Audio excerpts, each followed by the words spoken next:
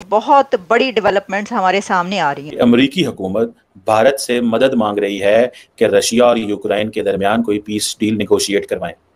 दौरे यूक्रेन के बाद भारतीय वज़ीर अजम का अमरीकी सदर से टेलीफोनिक रबता। नरेंद्र मोदी के मुताबिक अमरीकी सदर से यूक्रेन की सूरत हाल पर बातचीत 24 आवर्स के अंदर 24 घंटों के अंदर दुनिया में दो बड़ी टेलीफोनिक कन्वर्सेशन हुई हैं। प्रधानमंत्री मोदी की रूसी राष्ट्रपति पुतिन से बातचीत हुई है। अमेरिकी राष्ट्रपति जो बाइडेन के बाद पीएम मोदी ने पुतिन से भी बात की आज प्रधानमंत्री नरेंद्र मोदी ने रूस के राष्ट्रपति व्लादिमीर पुतिन से साफ़ साफ़ कहा कि भारत जल्दी से जल्दी रूस और यूक्रेन के युद्ध का शांतिपूर्ण तरीके से समाधान चाहता है। इंडिया के prime minister Narendra Modi as a mediator कोई रोल प्ले कर रहे हैं। ये दो टेलीफोनिक कन्वर्सेशंस और कॉल्स इस चीज़ को कंफर्म कर रही हैं। ये कंफर्म्ड हो चुका है। दोस्तों क्या बात है? किसने सोचा था 1947 में एक मुल्क जो आज़ाद हो रहा है, वो छिहत्तर सतर साल के बाद वो दुनिया की दो बड़ी सुपर पावर्स दरमियान जो है वो पीस डील्स कराएगा। इनका पता नहीं, एक बड़ा अजीब सा रिलेशनशिप है प्राइम मिनिस्टर मोदी के साथ। पाकिस्तानियों की बात कर रहा हूँ। ये कोसते भी उन्हीं को हैं, तारीफ़ भी उन्हीं की करते हैं एग्ज़ाम्पल भी उन्हीं का देते हैं, बोलते हैं कि अगर कोई प्रधानमंत्री हो देश का तो मोदी जैसा हो, फिर मोदी बुरा भी आदमी इनके लिए बन जाता है। मतलब ये खुद पाकिस्तानी श्योर नहीं है कि इनके लिए मोदी अच्छा आदमी है कि बुरा आदमी है। उन्नीस में आज़ाद होने वाला मुल्क आज ग्लोबली कितना ज़्यादा स्ट्रॉन्ग हो चुका है कि दो बड़ी पावर रशिया भी एक वक्त में सुपर पावर रहा और अमेरिका तो ऑलरेडी सुपर पावर है और दो सुपर पावर के बीच जो है सुलह कराने के लिए इंतखब किया गया है प्राइम मिनिस्टर नरेंद्र मोदी। बहुत बड़ी डेवलपमेंट्स हमारे सामने आ रही हैं और ये डेवलपमेंट्स एक तरफ़ इशारा कर रही हैं कि आगे क्या होने जा रहा है। पहली डेवलपमेंट तो ये है कि अमेरिका के प्रेसिडेंट मिस्टर जो बाइडन ने इंडिया के prime minister mister Narendra Modi को कॉल की और कॉल में उन्होंने तारीफ़ की है। मोदी साहब की पीस एफर्ट्स की। और अमेरिका के प्रेसिडेंट का ये फ़ोन उस वक्त गया कि जब मोदी साहब यूक्रेन का विज़िट करके वापस पहुँचे हैं।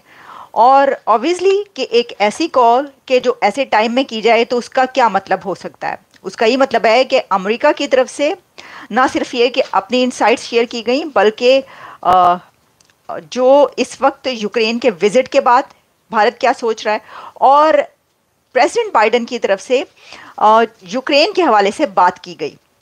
तो दो हमारे सामने इस सिलसिले में आई हैं। डेवलपमेंट एक तो ये कि रीड आउट जो कि स्टेट डिपार्टमेंट की तरफ़ से सामने आ रहा है, जिसमें ये बताया गया है कि प्रेसिडेंट बाइडन ने बहुत उसको जो है सराहा है, बहुत तारीफ़ की है।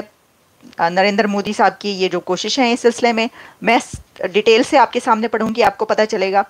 लेकिन एक और बड़ी डेवलपमेंट जो हुई, वो ये हुई कि जैसे ही ये फ़ोन ख़त्म हुआ, उसके कुछ देर के बाद, कुछ घंटों के बाद इंडिया के प्राइम मिनिस्टर ने कॉल की है रशिया के प्रेसिडेंट पुतिन को। तो इस तरीके से ये दो कॉल्स हैं, कुछ ही देर के अंदर, कुछ घंटों के अंदर 24 आवर्स के अंदर 24 घंटों के अंदर दुनिया में दो बड़ी टेलीफोनिक कन्वर्सेशंस हुई हैं। और ये दोनों कन्वर्सेशंस हो सकता है कि आगे चलकर मीडिएशन तक पहुँचे। ये दो कॉल्स हमें ये बता रही हैं कि इंडिया का मीडिएशन में कोई ना कोई रोल ज़रूर है।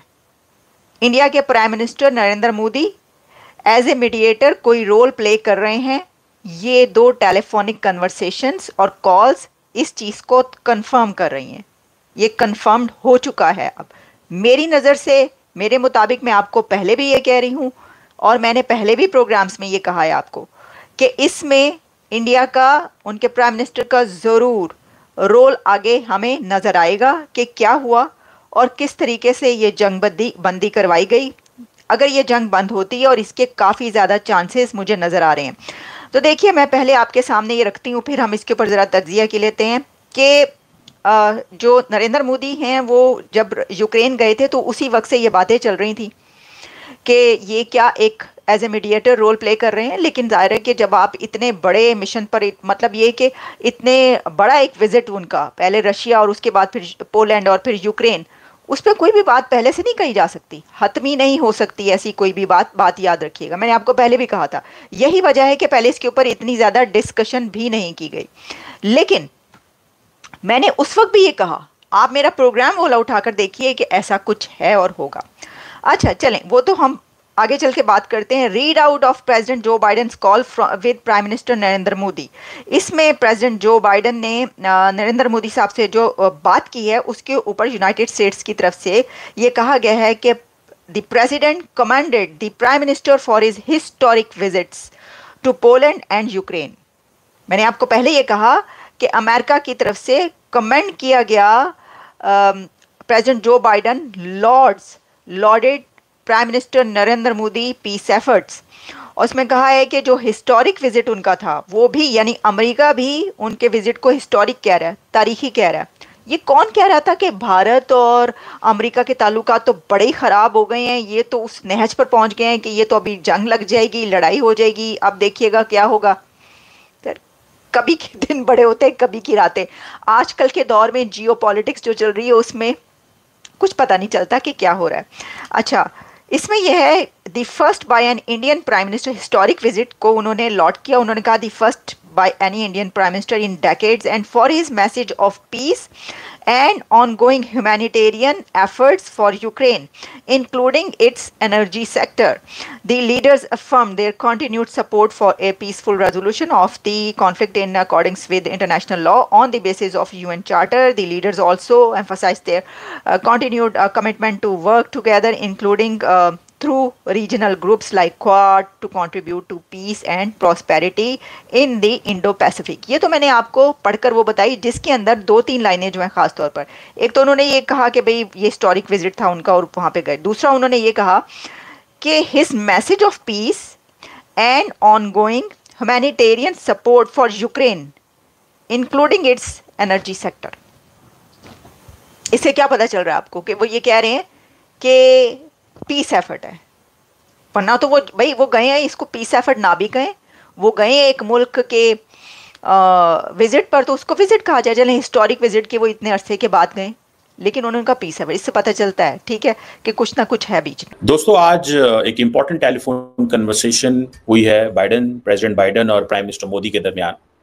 ये जो कन्वर्सेशन है, इसमें जो कि शायद कोई एक्सपेक्ट नहीं कर रहा होगा, लेकिन इस इंपॉर्टेंट कन्वर्सेशन के अंदर लग ये रहा है कि अमरीकी हुकूमत भारत से मदद मांग रही है कि रशिया और यूक्रेन के दरमियान कोई पीस डील निगोशिएट करवाएँ।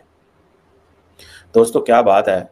किसने सोचा था 1947 में एक मुल्क जो आज़ाद हो रहा है, वो छिहत्तर सत्तर साल के बाद वो दुनिया की दो बड़ी सुपर पावर्स रशिया किसी दौर में जब पहले सुपर पावर हुआ करता था, अब तो खैर मुश्किल में है, लेकिन रहा है।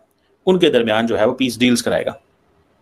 अब जो मोदी साहब की कॉल आई है बाइडेन की और मोदी साहब ने कॉल की है पुटिन को। ठीक है जी? और एक ही बात हुई है और बात हुई है यूक्रेन के ऊपर। बात नहीं हुई बांग्लादेश के ऊपर बात किसी और टॉपिक के ऊपर नहीं हुई।